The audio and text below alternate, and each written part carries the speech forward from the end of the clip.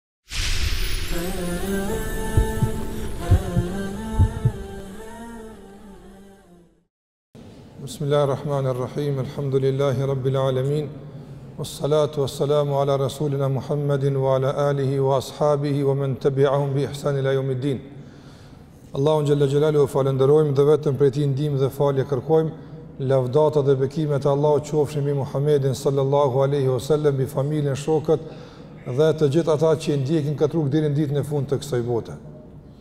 Të nderuar vëllezër dhe motra, po vazhdojmë edhe sonte me lejen e Allahut azza wa jall me ligjëratën tonë të përjavshme dhe sikur ju kujtohet në takimin e fundit Kemi bërë një përmbyllje të një teme që e kemi trajtuar më gjatë se zakonisht. Jemi mësuar që temat e adhurimeve të zemrës t'i trajtojmë në dy takime, ndërsa temën e pendimit e kemi trajtuar në katër takime dhe kemi thënë se kanë mbetur edhe detalet e tjera të pasqaruara, por shpresoj se ajo që është prezantuar do të jetë e mjaftueshme që të na e ndriçon rrugën e pendimit, respektivisht rrugën e pajtimit me Allahun xhalla xhelalu dhe të përmirësimit të raporteve tona me të. Kam shpresuar që të jetë çështja e pendimit dhe temat që kanë të bëjnë me të, ato që do ta përmbyllin këtë sezon të ligjëratave para Ramazanit, por meqë kanë mbet edhe disa javë Deri në Ramazan do t'ia bashkangjesim pendimit edhe një nga veprat e zemrës.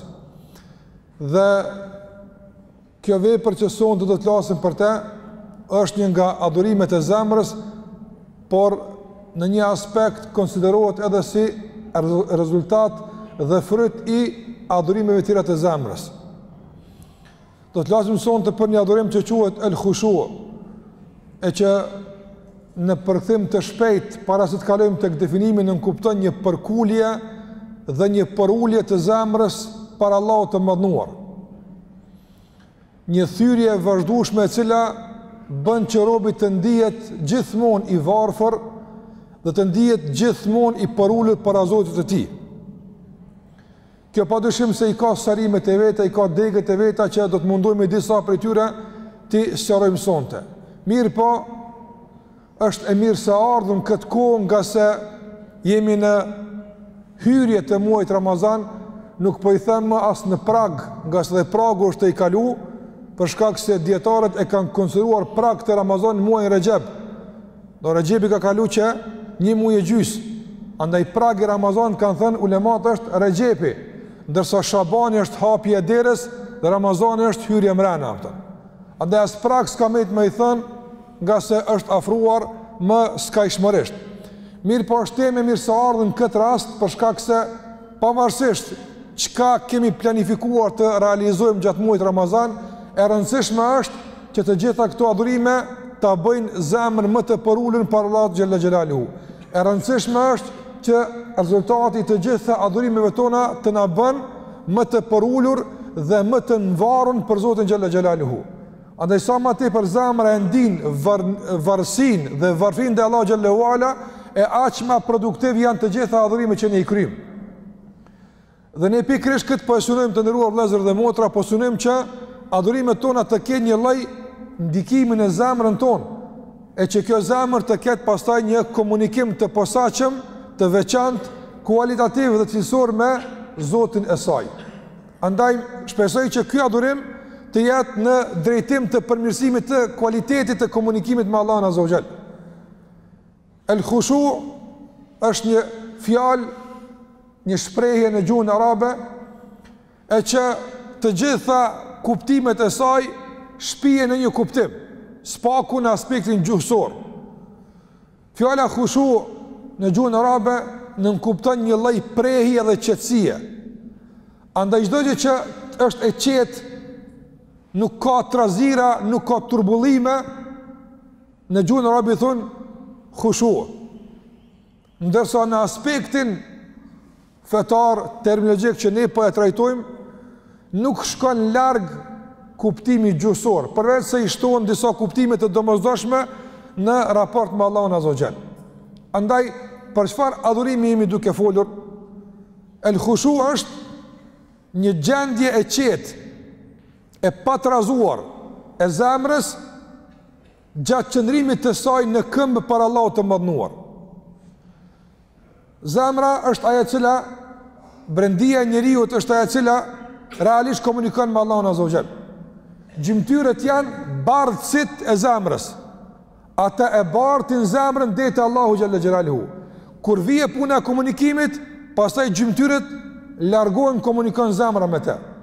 Për shambull, Në namaz, forma e namazit është bartëse e zemrës, por komunikuesi real në namaz që flet me Allahun xhel-le ue ala që i drejtohet është zemra e tij, është brendia e tij.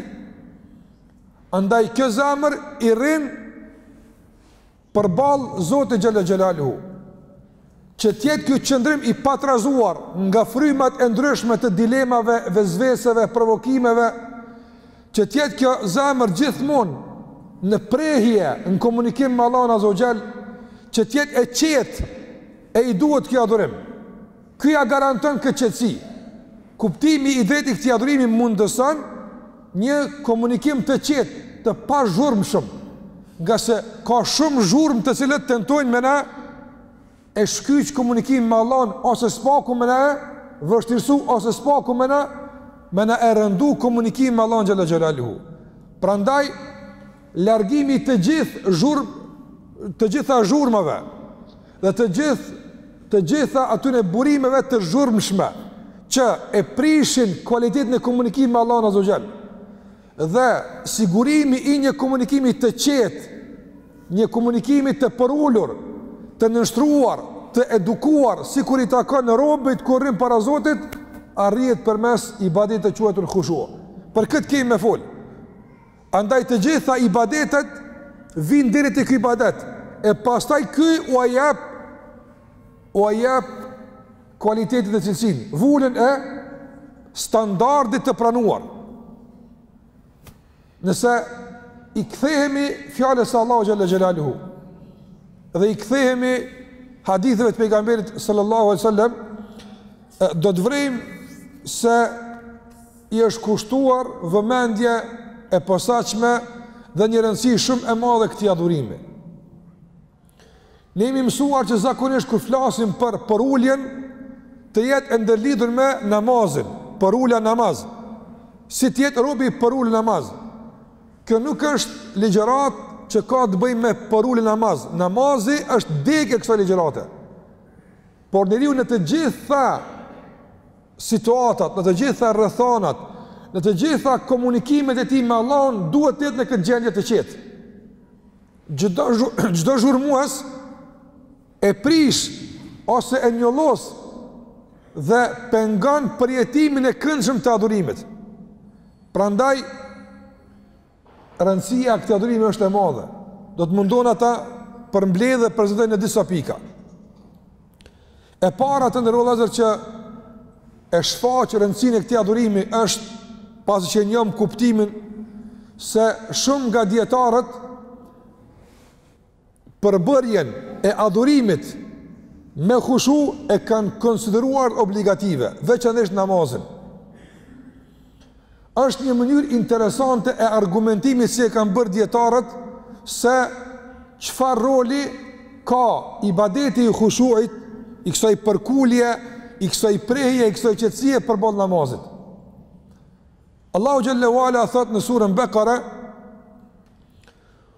Wasta'inu bis sabri was salah wa innaha lakabiratun illa 'ala al khashi'in.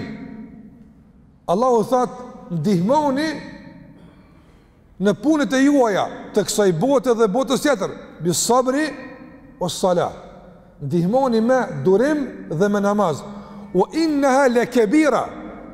Por kryerja e këtyne obligimeve është me ngarkesë. Me ngarkesë do të thotë me lodhje, madje me plogështi, madje me përtesë, përveç se khashiin. Përveç ata që e përziejnë këtë ibadet me ibadetin e khushuit, apo ibadetin e quajtur khushu. E për ta bëhet i lehtë. E lehtësimi i adhurimit dhe përjetimi i tij është pjesë përbërëse e adhurimit. Andaj është obligativ. Madje pejgamberi sallallahu alaihi wasallam Njeriun që e ka pa duke u fal, por i cili namazin e ka parë me shpejtësi që është e pamundshme në atë shpejtësi të jetë prezent khushuja, i ka thonë irji fasalli fa innaka lam tusalli. Kthehu edhe falu ngase ti nuk je falur, apo. Prandaj namazi është shtylla e fesë dhe të gjithë e kemi parasysh rëndësinë e këtij adhurimi në jetën e përditshme, përballë besimit tonë me Allahun Azza wa Jall. E po aq sa është i rëndësishëm namazi për besimin, po aq është i rëndësishëm ky ibadet për namazin. Pra është shumë i i rëndësishëm dhe i kërkuar. Ai që dëshiron Prehje dhe qetësi në namazin e tij e duhet me e shoqëru me khushu. Përndryshe, në qoftë se ky ibadet nuk është prezent, namazi kalon në formë rutine, mekanike, e që jo rrallëherë bëhet bëhet një ngarkesë që ndihemi të shkarkuar kur e kryjmë. Pothuajse kemi qenë të ngarkuar. E dyta që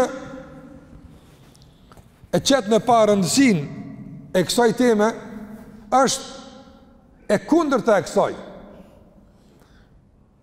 Ky ibadet i i i khushuit, sikurse e përmenda nënkupton një lloj qetësie, një lloj prehje dhe të cilat janë gjithashtu edhe sinjale që nënkupton një lloj Zemër të butë, zemër të butë, e përshtatshme, njeri i cili është i qetë, apo nuk ka mundësi me kon i egër, ngase njeriu i qetë, zakonisht është i butë, ngase butësia e bën të qetë, për shkak se është i butë, ai është edhe i qetë, për shkak se është i butë, ai është edhe i afërt, e egrësia e bën me qenë pastaj i vrazhdë, me qenë eksploziv, shumë shpesh, nervoz e kështu me radhë, Andaj edhe zemra kështu.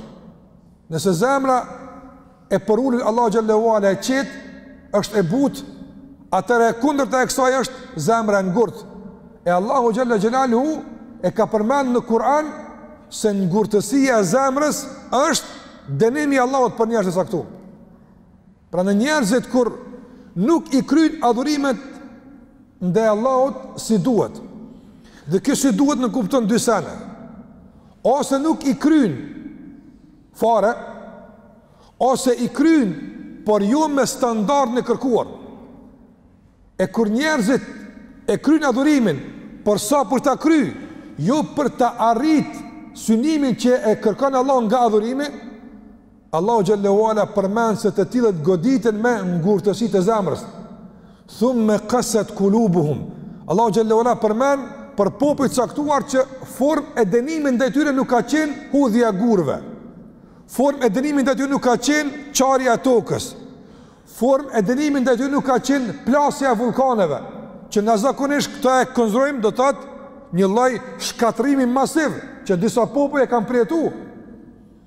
Ndërsa Allahu xhallahu ala përmend se ka popuj që s'i ka dënu kështu i ka lon me jetu, por dënimi ka qenë i zbritur në zemrat e tyre me ngurtësi të zemrës. Dhe përderisa është dënim ngurtësimi i zemrës, jep me kuptu se sa është e rëndësishme të zbutet zemra, që zbutja e saj të nënkupton qetësinë e saj dhe prehjen e saj kur Allahu të përmendet.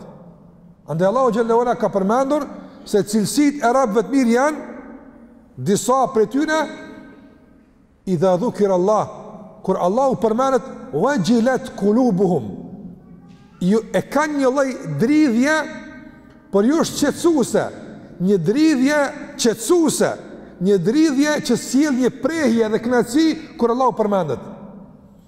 E kush e ka bërë zemrën të përshtatshme që ajo të komunikon me përmendjen e Allahut kështu? Butësia e saj, respektivisht prezenca e këtij adhurimi në brendinë e zemrës. Prandaj zemra e butë, zemra që përjeton kënaqësi, që dridhet, zemra e cila nuk është e ngurtë, Zemra e cila e adhuron Allahun si duhet është e kërkuar dhe e kundërta është dënim. Prandaj dietarët kanë thënë se kur njeriu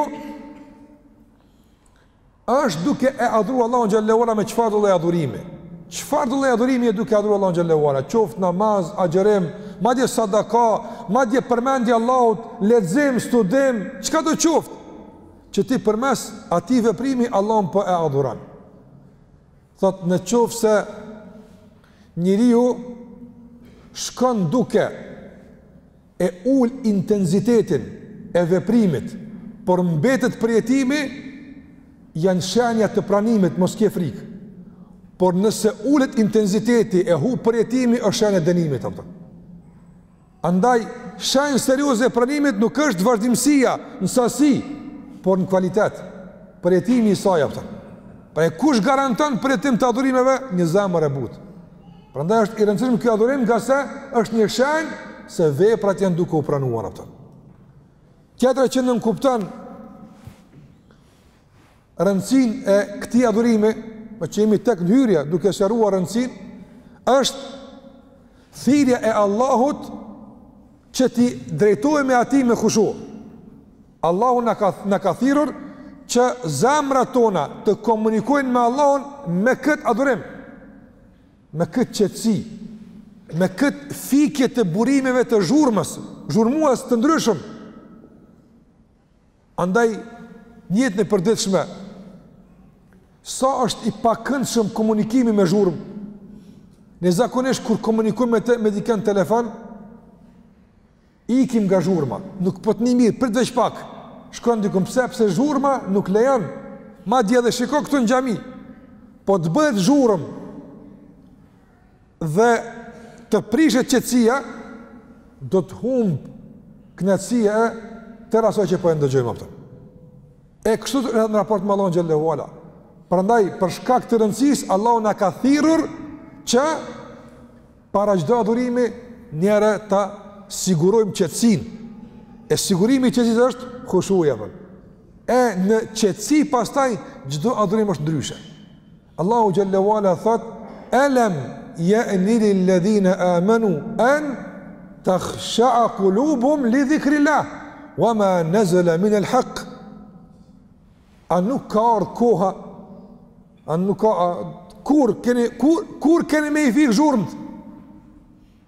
Apo, a nuk ka ardhë koha që në qetësi dhe prehje zemrat e juaja ta përmendin Allahun dhe ta adhurojnë atë?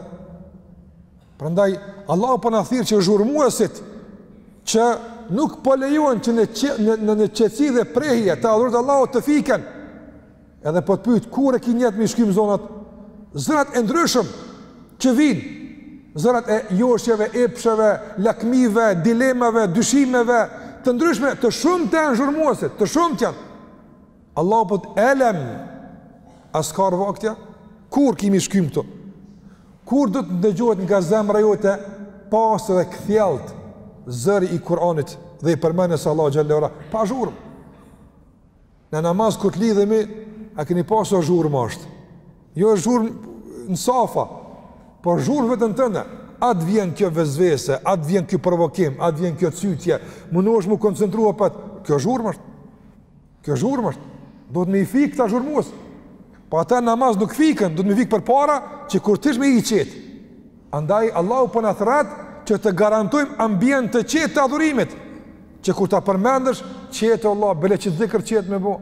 Kur ta agjërash, bile qat Ramazan të qetë me bo, jo me trazina, turbullira e zhurmë. Andaj thotë elem je'ni lil-ledhine amenu. Ata që kanë besuar, a është vakti mu? A ka ardh koha? që ata në qetësi, pa trazina, pa zhurmë, në prehje, Allahun ta përmendin dhe vetëm atë ta adhurojnë. Andaj, thirri Allahu xhel-le ue ala që ta adhurojmë Allahun tebareke ue teala në këtë qetësi, në këtë rahati, në këtë mënyrë të komunikimit me të, e shfaq rëndësinë e kësaj teme. Dhe gjithashtu, ajo që e shfaq rëndësinë e kësaj teme është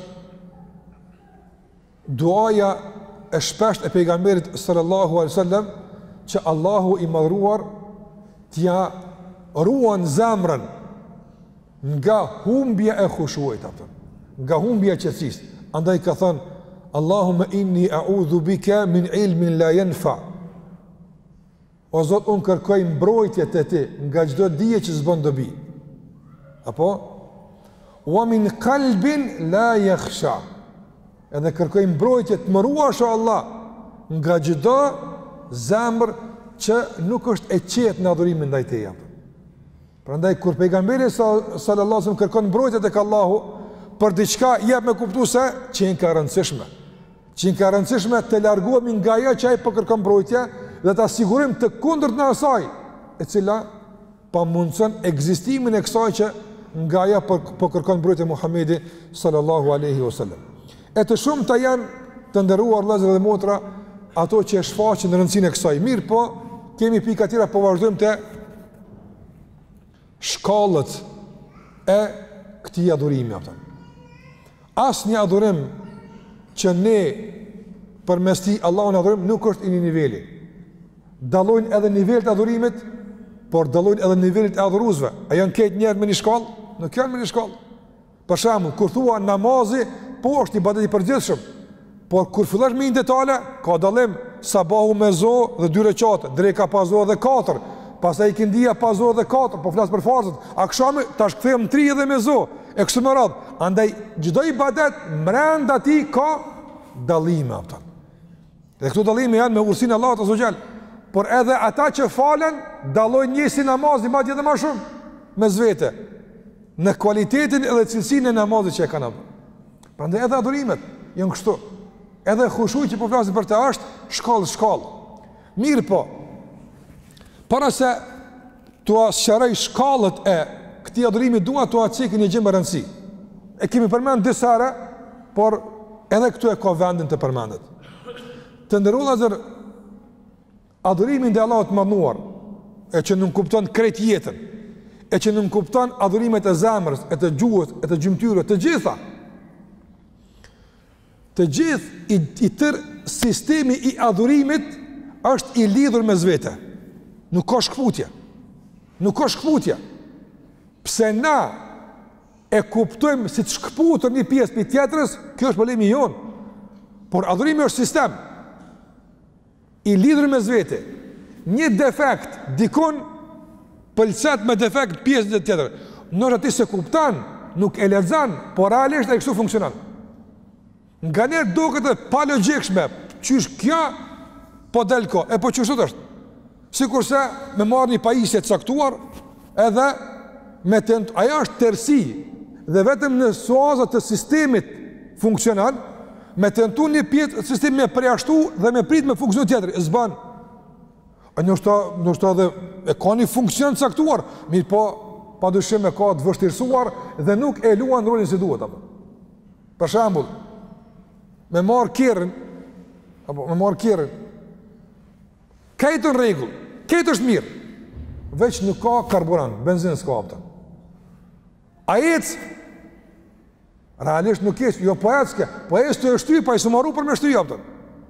Andaj ka adhurime që do të thotë ju mungojnë disa pjesë, e tani nuk po, nuk po na bartin, po duhet me i shty a kupton. E si po i shtyjm po na doken t'rona, a kupton. Ato realisht jan të leta, po po i mungon diçka sistemit, e s'po funksionon qysh duhet. E tani po detyrohemi ibadet me i bajt për s'roni. S'ka kënaqësi, s'ka përjetim, ngase diçka ka pëlci në sistem a kupton. Jon të lidhta mes vete. Jon të lidhta. Një gjynah këtu kërcet n'agjërim atje a kupton. Një problem këtu tek namazi atje. Jon të lidhta mes vete. Andaj kur dijetarët përmendin shkallët e adhurimit, do thotë këto janë të lidhta mes vete. Të parën s'e ke kry e kur të ankohesh për tretën, kuptoje se mungesa e të parës e ka sill pastaj mungesën e dytës, e tretës e kështu me radhë. Prandaj po them që nëse dëshirojmë me pas lidhje mes adhurimeve, duhet që të respektojmë rregullin. Edhe gjithashtu, sa pika kemi përmend atje e këtu e shpeshherë në tema të ndryshme, këto duhet m'u lidh mes vete. Në qoftë se nuk lidhen, s'kan kuptim. Pastaj normalisht ai që don me u ngrit duhet me mësu me lidh. Ai që don me met, s'e ka me rëndësi a përjeton namaz a s'përjeton, s'e ka me rëndësi ai Kur'anin e kupton, ai tjetër çka është ajo. S'e ka me rëndësi a i grah kerrit e shtyn, e ngreh, e bën çof, kjo diçka tjetër është. Unë po flas për m'u kënaq. Për me përjetu qysh duhet, e duhet me pas lidhje a kupton. Nëse nuk lidhen pikat mes veti, nuk funksionon vlla. Sikurse çdo sen në këtë botë e, e edhe adhurimi është ashtu, a kupton. Shkalla e parë e hushuit, a kupton. Kqyre këtë shkallën e parë. E tani na themi për ato tjerat, qysh po na mungon qetësia ko. Kqyre shkallën e parë cila asht, a kupton. Ulemat kanë thënë shkalla e parë e Arritjes së hushuit, se e ki në rregull katin e parë, vazhdon në të dytin, kati i parë është cili, kanë thënë është, ta presësh me përulje dhe pranim të pakontestuar, urdhrin e Allahut të madhnuar. Dhe gjithashtu në këtë nënkupton nënshtrimin tënd përballë vendimeve të tij, qoftë janë sheriatike apo qoftë janë kozmologjike. Dhe gjithashtu të kanë thënë dietarët se në këtë përfshihet edhe modestia jote para Allahut të madhnuar, a kupton. Çka nënkupton kjo? Kur vije urdhni i Allahut të madhnuar, qysh e pret? A e pret kokulur çka do që të vjen? Apo ka rezistencë të brendshme? Një lloj tash unë s'jam unë me bë këtë punë, dikush apo qysh e pret urdhrin e Allahut azze ve xhel, a kupton. Kjo është shenjë që jep me kuptu se në cilën shkallë të hushuit ti je, apo hiç s'je në shkallë, a kupton. Si e pret caktimin e Allahut azze ve xhel. Kur vjen caktimi i Allahut tebareke ve teala, shumë zemra trazohen, turbullohen, rebelohen, rezistojnë. Apo madje kjo rezistencë fillon me dalë edhe në gjuhë, tu thon fjalë që s'janë të hijshme. E pastaj mas dy vjet edhe thotë hoxhë bre, unë po lexoj Kur'an po pragun s'e ke kaluar atje. Apo Ngase s'ki mundësi me u përul n'namaz, në qoftë se nuk përulesh para kaderit, a kupton. Janë të lidhta këto mes vete. Janë të lidhta. Prandaj, pragu i parë, është të jesh i përulur, dhe në qetësi shpirtnore, dhe në rahati dhe prehje të zemrës, duke tentuar të gjithë zhurmuesit, Me i fik e pret caktimin e Allahut azze ve xhel, e pret vendimin e tij për çfarëdo lloj dispozite. Kështu të është, u kry. Apo ka rezistencë? Sasia ose fuqia e rezistencës në shkallën e parë reflekton me automatizëm të gjitha adhurimet e tjera, a kupton. Pastaj s'ka dhikr me përulje, me qetësi se zhurmë.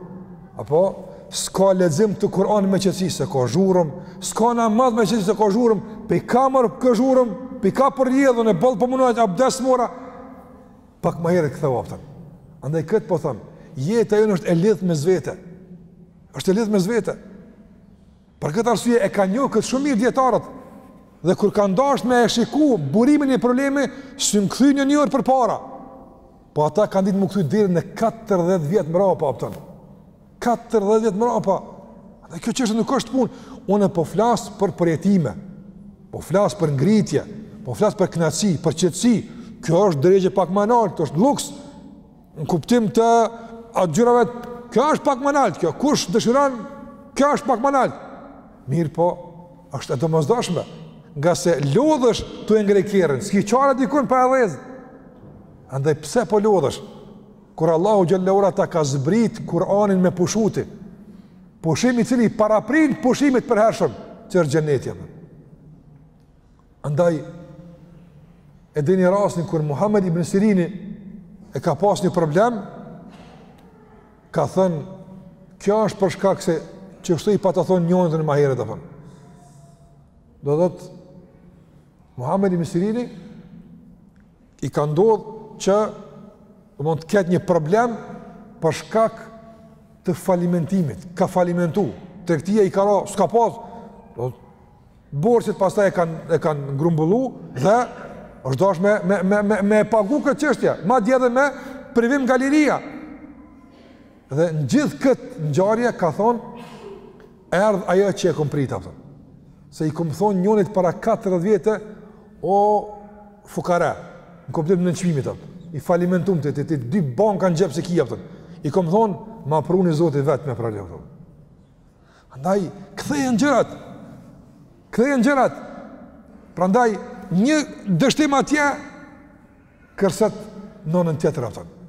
Prandaj, siguroje pragun e partë të këtij adhurimi. A don përulu në adhurim, përulu para caktimit të Allahut xhele ve ala. Po kjo është fazë më e vështirë, ani veç puno n'këtë drejtim. Normalisht gjithmonë sa vjen caktimi i Allahut tentojnë të ndezen zhurmues. Sa ke punu me besimin tënd, me bindjen tënde, me kuptimet e tua që para se me ndodh me i fik zhurmuesit, je më i qetë kur vjen goditja. Sa më neglizhent ke qenë për ta zhurmues, këta s'bojnë zhurmë gjithmonë. Këta bojnë zhurmë kur vjen kaderi.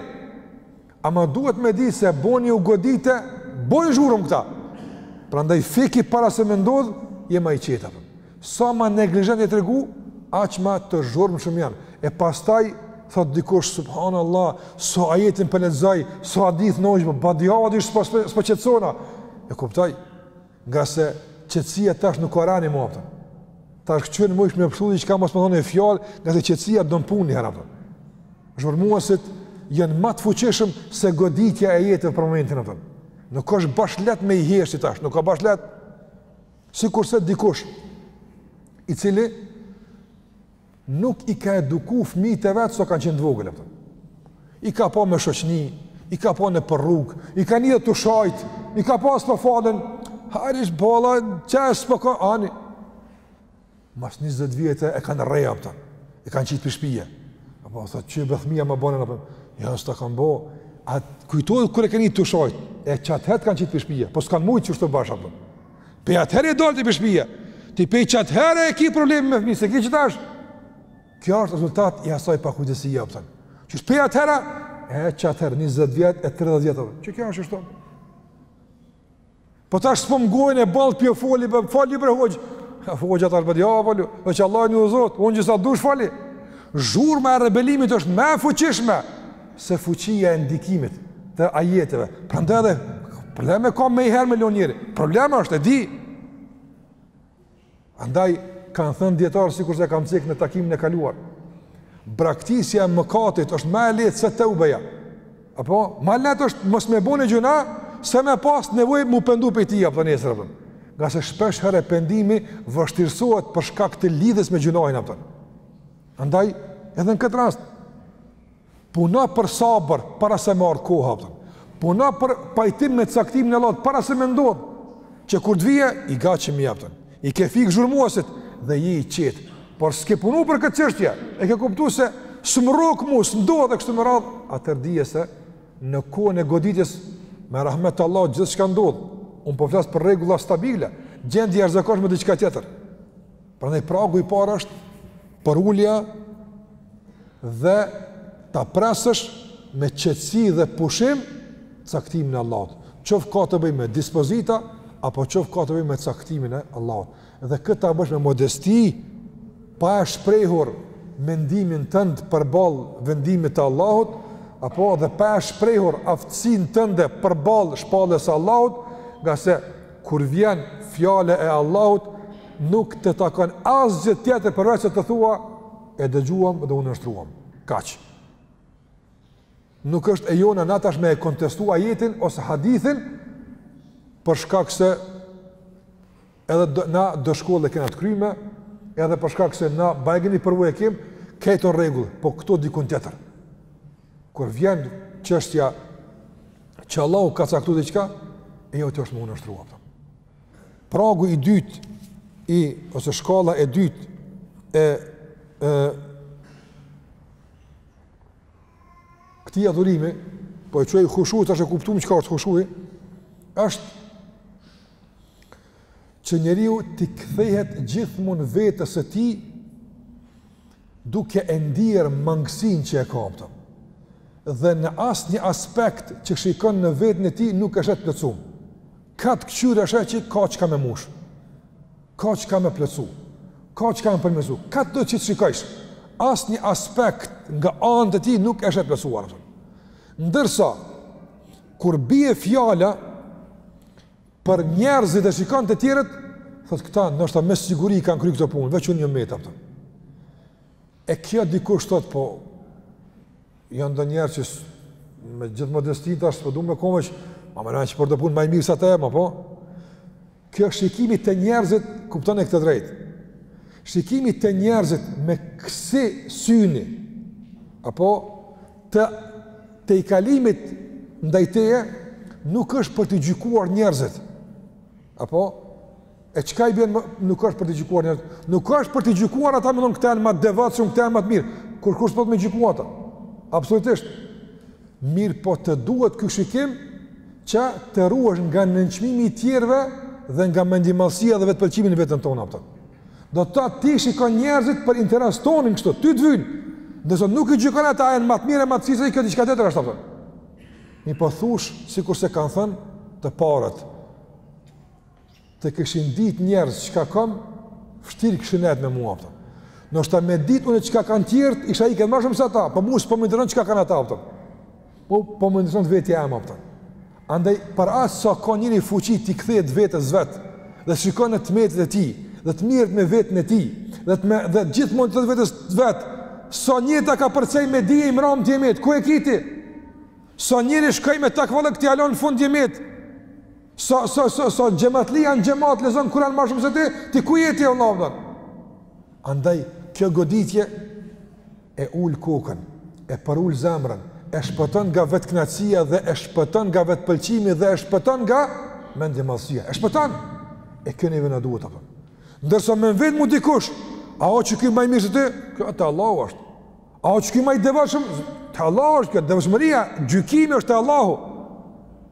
Por unë e shikoj te ata me këtë mendim të mirë për të tjerët, ndërsa me mendim më të zymtë për vetveten. Jo për ta dekuraju, nuk është kjo për zhgënjim, por kjo është për kvalitet, kjo është për me shty veten përpara, ngase në momentin kur njeriu kënaqet me gjendjen që e ka, e fik motorin e quajtur ambicie dhe vullnet.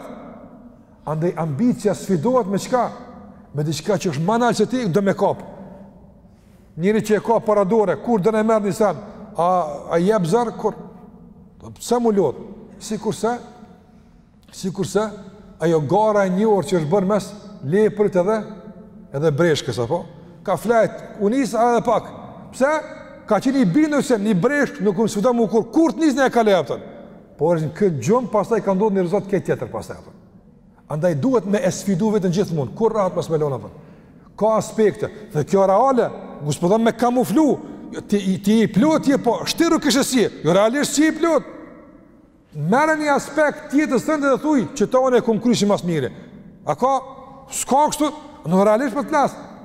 Mirëpo, dijetarët kanë thënë, shejtani në këtë tendencë tënde,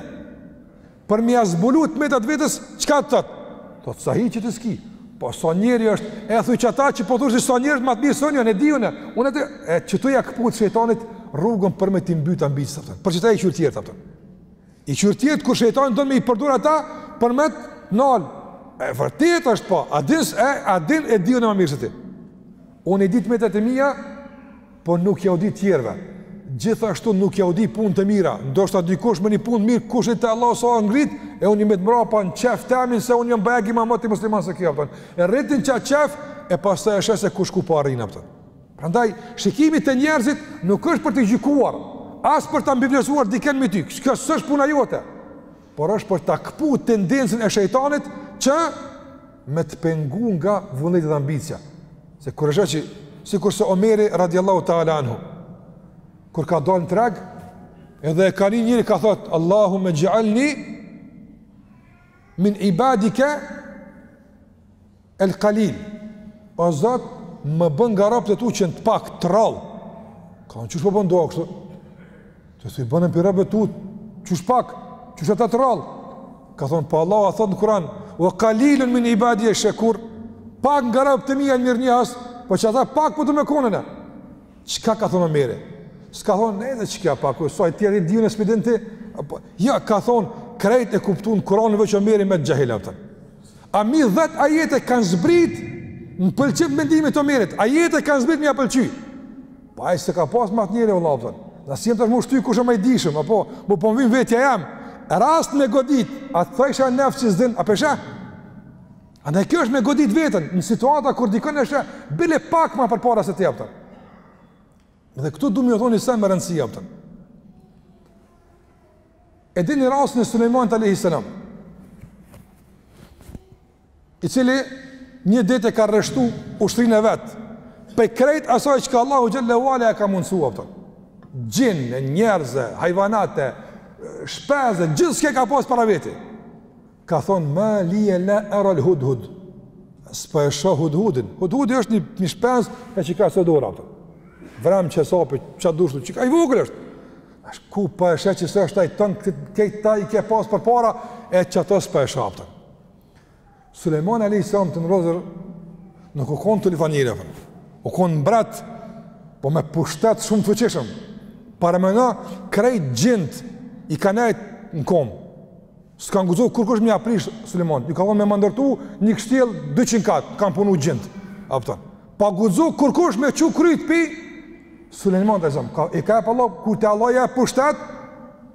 Ja nënshtron me xhinë, me krejt çka ka në tokë, s'ka kush del përpara, kupton. Sulejmani alejhi selam e ka pas, me njerëz, me xhinë, me kafshë, krejt çka ka pas. I ka pas nën komandën e tij, kupton. Me fol me këto s'ë konë kallaj, kupton. Ai veç me thonë, hajde se ka me shpërbly, u dasht m'u tutë, se ky ha njeri, veç me dalë përpara. Tash paramenoj Sulejmani alejhi selam nuk po e sheh Hudhudin apo. Edhe në ato që s'po e sheh, po thot Sulejmani alejhi selam.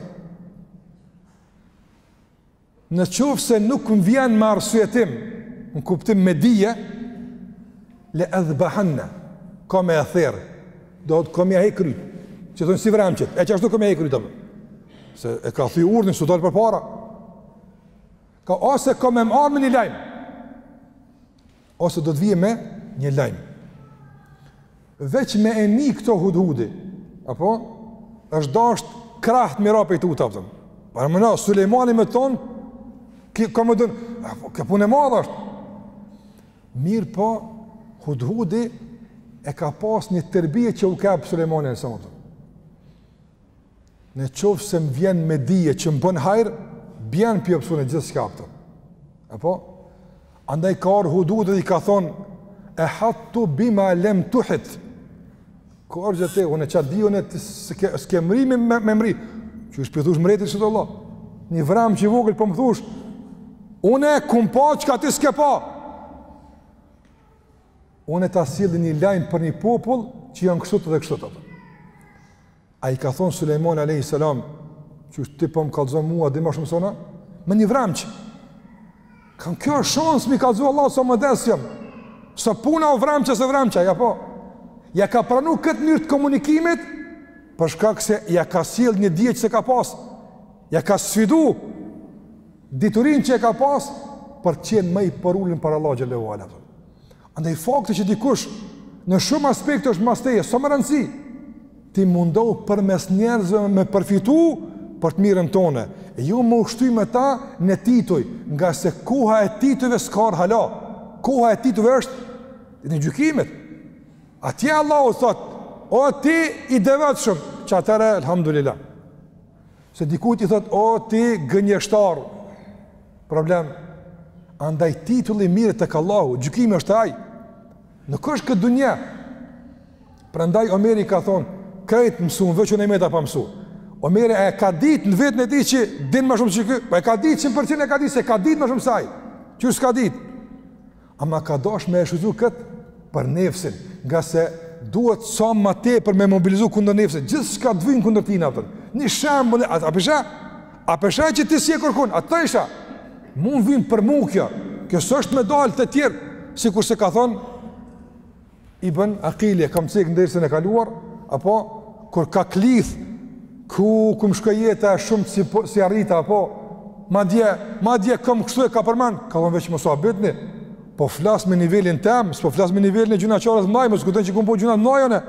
Po për mu, shumë sene që s'i kam arrit, për ju janë ibadet, ama për mu këto janë, janë dështime të mëdha, nuk ia bëj hallall vetës kurrë kështu a kupton.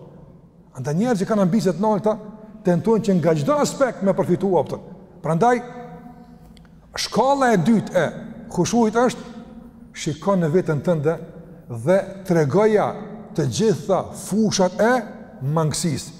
E kur thot hajt se s'ka ma mangët, thuj kurgjë s'dim ti sa t'mirë jan ata nga ras me mu a kupton. Që t'ia kputësh shejtanit tendencën për me depërtu vetëpëlqimi te ti dhe ambicia. do thot mungesa e ambicieve. Dhe shkalla e tretë të nderuar vllezër dhe motra e khushuit është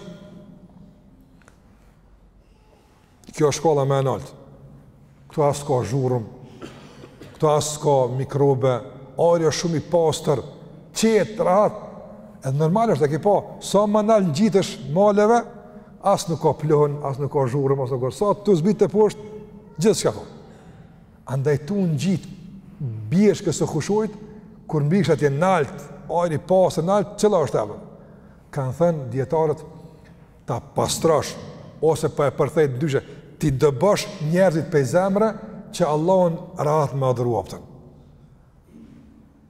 Na hala e adhurojmë Allahun me shikus.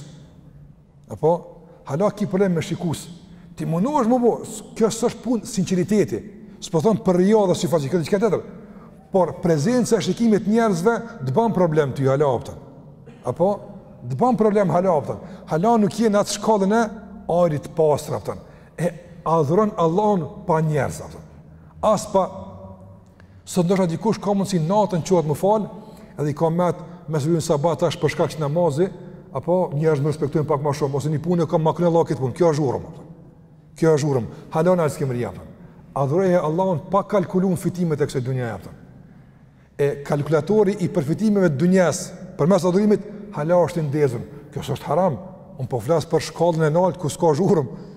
Largoj njerëzit a kupton nga zemra, adhuroje Allahun xhel-le ue ala pa prezencën e tyre, pa shikus, pa shikus hiç vet. Dhe gjithashtu njeriu në bazë të kësaj pastaj nuk kërkon privilegje nga njerëzit për shkak të adhurimit a kupton. Ngase as nuk i sheh adhurimet. Për shembull, një njeri i cili punon në mesin e njerëzve, është shumë normale që ata me i përdor dëshmitarë të punës tij për shkak të fitimit që e ka, a kupton. Domethënë një që punon kur kurkush s'e ka pa, a kupton, heç. Heç s'e ka pa, a kupton, kurkush s'e ka pa, a kupton. A i merr dëshmitarë njerëz për punë që ka bo? S'i merr ai, ngase ai s'e ka bo për ta. Atij i vyn marrëveshja me kërënë ka, me ty. Unë ty që për, a, a ki lypë që se po, qe merre? Mu s'um vyjn njerëzt, as um ka pa kush, as nuk ka pa kush, ngase as mend s'um ka shkuar po m'kqyr kush bile, a kupton. Prandaj dëbimi i prezencës njerëzve nga zemra është ajo që e bën njerin përulun. Ngase thamë përulshmëria është qetësia e zemrës gjatë adhurimit të Allahut xhele ve ala. E prezenca e njerëzve nuk po them veç prezenca fizike. Do të mund të me kon vetë te shpia, prezencë fizike të njerëzve nuk ka në punët tua që ti i bën. Por prezenca, prezenca imagjinare e njerëzve, imagjinon, apo për shkak kësaj tash Allahu më ngrit, Allahu m'i kryen këto punë, Allah, këto kalkulime janë dorës dytë.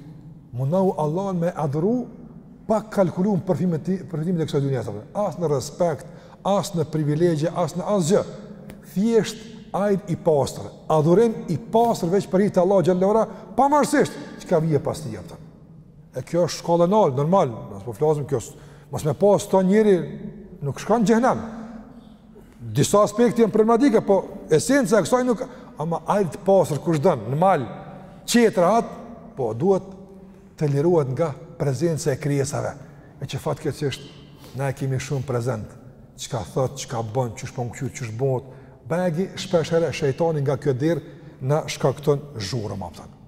Sido qoftë, të nderuar vëllezër dhe motra, pas kësaj pike, është llojet e hushuit, a kupton. E përmendëm kuptimin, rëndësinë, gradat dhe shkallët, e pika e katërt është llojet. Dy lloje janë, a kupton. Ka hushu origjinal edhe ka hushu fallc. E cili është origjinal, që me ditë na origjinalin me po që me, me, me, me të ashtë që e tani fallc, Apo dijetarët kanë thënë se khushu'i që kjo që kjo që ibadet origjinal është kur buron nga brendia e vazhdon te gjymtyrët, a kupton. Do të thotë kur pikënisja e adhurimit është bërthama ndërsa formaliteti e përcjell bërthamën, a kupton. Ndërsa khushu i fallc është kur fillon nga formaliteti e tani pejti kqyr, kjo është fallc. Andaj e ka pa një njeri, Seid ibën Xhubejri ka pa njeri shtu të ka bon, të munu mu, ka thënë o ti, mos u lalë se nuk është hushui në qafë, po në zemër, a kupton. Edhe këtë qafë mos e dredh fort apo. Apo, në zemër është. Prandaj i ka thonë Omeri njonit, tu u falë, e të buksu, e të buksu, ka thonë, leu khashea kalbu hadha, le khasheat xhevarihuhu. Ta kish pas zemrën e qetë, pa u kru mrena zemra, as durt s'u kishin kru, a kupton. Ama kjo kruhet mrena tani kruhen edhe veshët, dora, gjithçka kruhet për jashtë. Livrit. Prandaj origjinal është kur është zemra përulën. E bart përulshmërinë, e bart qetësin, e bart at at prehjen te gjymtyrët pastaj atë. Rahat. Kjo është origjinal. Ndërsa e tjetra është diçka më keq se fallc, se me kon veç fallc është diçka më për më më e përballueshme në krahasim ato çka e kanë emërtuar selefi këtë të dytën. Kan thon khushu un nifaq. Kan kjo është kjo është khushu i dyftyrshave a pton. Apo i munafikave.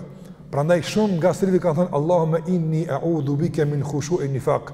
O Allah un të lutem të më ruash nga përulja e Nifakut, apo, mundohet drejt, në rregull, kejt aspektin e jashtëm, kjo në rregull do të me konë. Mirëpo ku është investimi për zemër? Ku është investimi për të mrenshmën? Përulja mrena, ku është? Andaj është mrapshtu. Shumë ma shumë pytje ka, shumë ma shumë interesim ka për aspekte formale, se për aspekte të bërthamës e të esencës, a pton. E në këtë rast, formale problematika, a pton.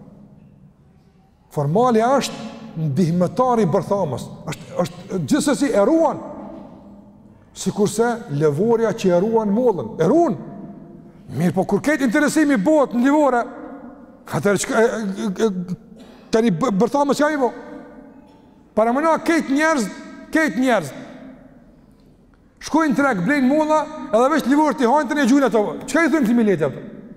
E sheh në bërllog, kejt mollat e mira, kejt janë, janë kalbë, në bërllog. E na këto s'i hajmë, na lëvoren e kena hangër ato. Ama kjo nuk nënkupton se lëvorja nuk a me rëndësi, e runë. Mirëpo kur veç ajo bohet ajo që na e marrëm, atëherë problem, vallah. Andaj, në qoftë se na e bëjmë një statistikë për përmbajtjen e pytjeve tona, shumë ma tepër kanë të bëjnë me aspektet formale të jashtme, se me aspektet thelbësore të brendshme. Në çdo aspekt të jetës tonë, e kjo është problem, a pton. Kjo është problem. Andaj, na duhet të garantojmë khushu origjinal, i cili nënkupton një komunikim të mirëfilt mes të brendshmes e të jashtmes. E jo, jo khushu i cili është jashtëm pa me pa mashallah. Dikush mendon se me të pa pejgamberi të kish dashur, a pton. Dikush qështu kujton prej të jashtmes. Po pejgamberi s'i ka dashur njerëz me të jashtme, vallahi. I ka dashur njerëz me brendshmën. Apo i ka dashur njerëz me brendshmën, ngase Allahu xhallahu i ka lajmëruar.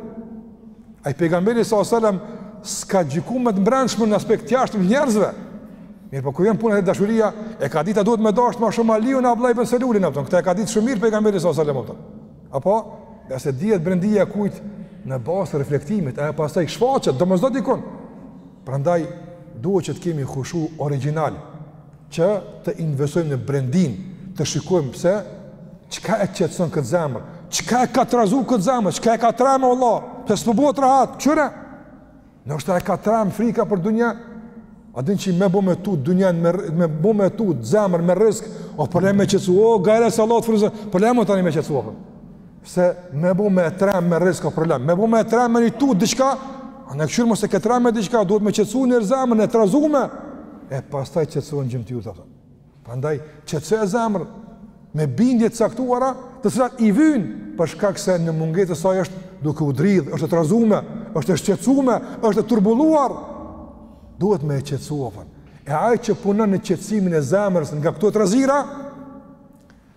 Ky është në rrugën e drejtë për ta fituar khushuin origjinal. Has khushu tamam, qysh e lyp Allahu xhallahu ala. Ai i cili nuk i kushton vëmendje, a është zemra e turbullume, a është e trazume, a është e shashtrisme pi tutave ndryshme, a s'është, kjo s'është me rëndësi për këto shumë apëton. Ka pak jap normal, ndoshta dikur. Mirëpo në esencë për të është Forma e jashtme, apëton, e insistimi i vazhdueshëm për formën e jashtme, në llogari të formës së brendshme, dijetarët kanë përmendur se rrezikohet, na nuk po gjykojmë, por rrezikon që i tilli të jetë i përfshirë nga dyfytyrësia apëton. Dhe pika e fundit që du me përmend për sonte, pasi ka edhe disa pika tjera, por në shpejtësi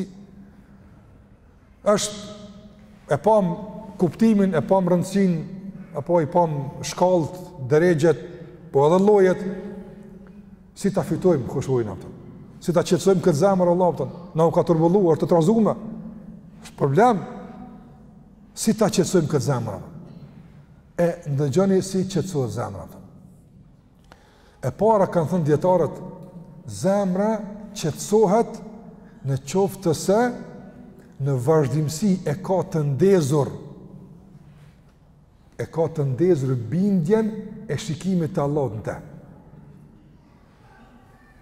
e qetëson këtë zemër dhe e bën me pushu, atëherë kur e din se Allahu është duke shikuar. Prandaj kjo është çështje që e kemi sqaruar atë tek derexheja e muraqabes atje. Do thotë mbikëqyrja e Allahut xhallahu ala mbi robin e kjo është ajo që e qetëson zemrën atë. E qetëson apo të shikuar se Allahu po të sheh. Apo apo ma din hallin kur s'po kurkush ma din hallin atë zemër Allahu ta din hallin. Apo, krejt to që e shqetësojnë zemrën, i ki te murakabe. Te derexhja e shikimit të Allahut, Allahu po të sheh, Allahu e din hallin tand. Kjo është e para. E dyta që e qetëson zemrën të njerëzve dhe e bjen khushuin është angazhimi dhe preokupimi me të metat e vetes. Atë e cekëm, tash e kuptojnë të lehtë, sistem o ky. Andaj, sa ma tepër preokupohesh me metat e tuja, sa ma pak i këqyr punt e hallkut, shumë ma rahat je, a kupton. Shumë ma rahat je. Mjafton një shikim, një shikim, i panevojshëm te dikush me ta turbullu zemrën, vlla. Ngase shikimi për shembull në pasurinë e dikujt, ta trazon zilia zemrën, vlla. S'ka kush e qetson masanej, a kupton. Mos e provoko, vllau. Ça po këqyr ti në punët e dikujt? Apo, e ka e murë, e çka e murë, e turbullon zemrën, tani mos hajde me m'u anku, s'po, s'po ni, s'po muna me meditu Kuran, kur e ke trazu këqyrja, e ke turbullu diku, a kupton, andaj një turbullus shumë i keq është zilia, a kupton, turbullus shumë i keq është lakmia, e ku e fiton njeri lakminë, po tu këqyr, tu u përzi n'punë që s'i përkasin, tu shiku atje ku s'e ka venin, qatje, e kur turbullohet, e ka problem me e përjetu qetësinë e adhurimit. Andaj mos e provoko vlla, mos këqyr. Ça po këqyr, kush ku e ka marrë, ça po interesohesh? Ça po interesohesh, kush me kan shkon, kush me çka ban? Kqyri punt e tuja, vlla, a kupton. Që është i jote, kqyri punt e tuja. Sa ma afër këmbëve tuja këqyr, ma rahat je vlla, a kupton. Si ti fillon me i zgat komt jashta, sytë dua të them, jashta këpucave tuja, dihet që je tu e provoku turbullimin e rrezikshëm të zemrës. E s'e ban tani, nuk e ban. Ngase dijetarët kanë thënë, esh-shubuhat khattafe, dilemat janë rrëmbyese, ndërsa zemrat janë të dobta. Nuk mundet zemra me i qëndru rrëmby... S'ka mundësi, andaj, pse e qet zemrën, o vlla, në rrugë ku ka cuba, ta kidnapojnë, tani mos thuj s'po ni ma përjetim, po ta kanë vjedh zemrën, o vlla. Andaj ruje zemrën, duke i këqyrë punët e tuja. Këqyri punët e tuja, gjynahet e tuja, këqyre, këqyre familjen tone, kjo është për ty e mjaftueshme. E bisedat, e ku, e çka, e për qysh, e pse, këto çështje, dije, të qysh dush, me çdo pytje jashta vetes, është turbullim. Tani, a do me rrnu me turbullim, e turbulenca, e tollovi, ti e din, por na po flasim për qetësi, a kupton.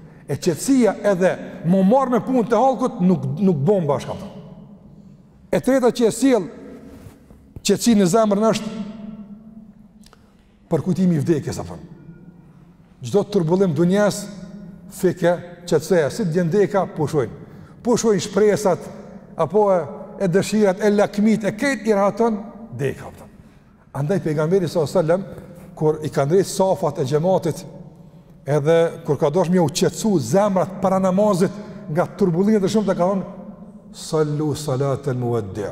Faluni sikur të ishte ky namazi i fundit. Provoje qeshtu çdo adhurim. Thuj subhanallah sikur të ishte e fundit, s'ka mas saj subhanallah. Qetësohet zemra. Fa. qetësohet, por në qoftë se ka përkujtim kualitativ të zemrës, jo çdo për, përkujtim, por kualitativ, me leje edhe zemra qetësohet, apëton. Andaj, paramendo çdo adhurim i fundit, Wallahi kjo nuk është kamuflim, nuk është aktrim, çuna, nuk është i fundit, po kishe. Wallahi po a është a është përnime është aktrim kjo. Përnime është, a ka mundësi me kon për dikon prej nesh sot jacia e fundit që e fal. U kry, dul, a ka mundësi? Wallahi ka mundësi apo. Përjetoje kështu taman, apëton, realisht, mundohu mos me aktru, por me origjinalitet me i përjetu gjërat që realisht mund të ndodhin, qetësohet zemra, apëton. Ngase ka thënë pejgamberi s.a.s. se lakmija e njerit të i karen e gjelën e ti, apëton. Njeri ka jetë 60 vjet, por lakmi ka 660.000 vjet, apëton. Apo? Andaj, kush e këput këtë lakmi, sopata e dekës, apëton. S'ki me rrnu qikaq, apëton. Andaj këqyr hin mrena kufijve jetës tone qëtu çka ki me bo. Se me këqyr do njerëz qysh kalkulojnë e e përkthen at lakmi me vjet 6000 vjet që ky po do me rrnu. Jo ma, ku po e din ti?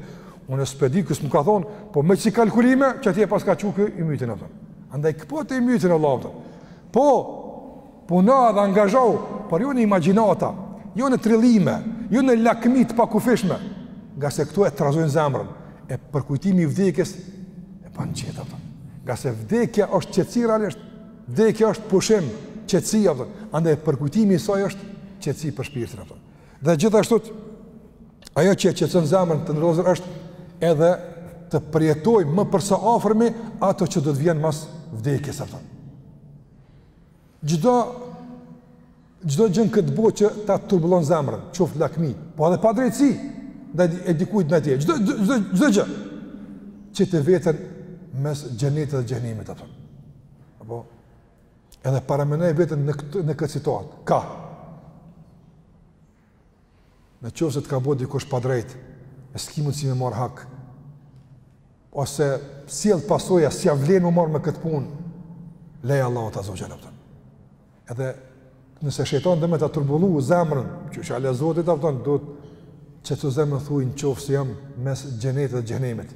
Edhe më ka met veç një vepër ose dy pa hi në xhenet, edhe për shkak se nuk po hakmirrna n'këtë dunja, po po e lo për ahiret, m'i jep Allahu do punë të mira t'tina dhe hi në xhenet, a ja vlen? Ja vlen, qetësohet zemra,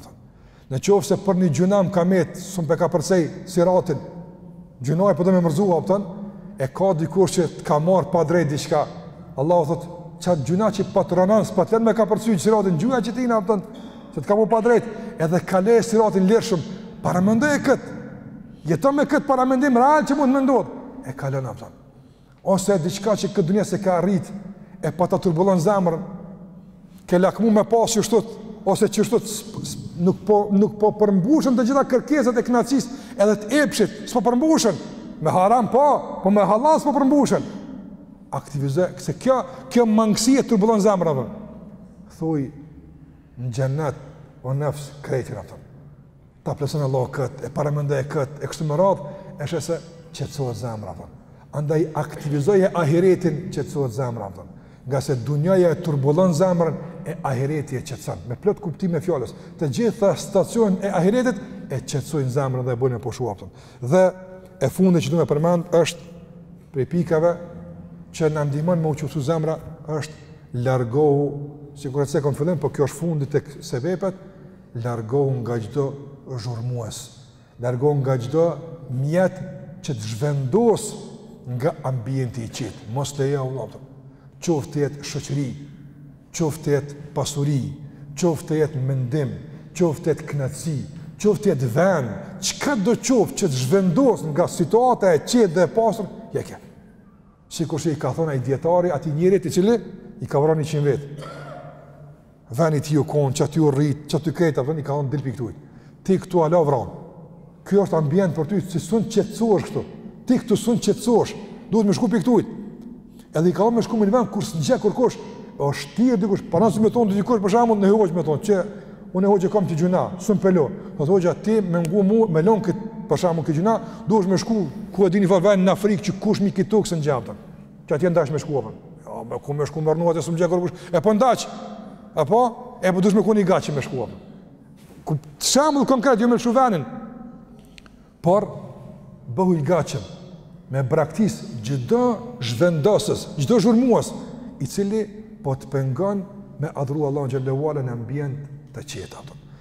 Këto janë ato të cilat kanë të bëjnë edhe me këtë pikën e fundit, rrugët që na ndihmojnë të arrijmë hushuin në zemër, ka mbetë edhe disa pika tjera, por shpresoj tek Allahu që t'i mbarojmë në dersin e ardhshëm me lejen e Allahut të madhëruar.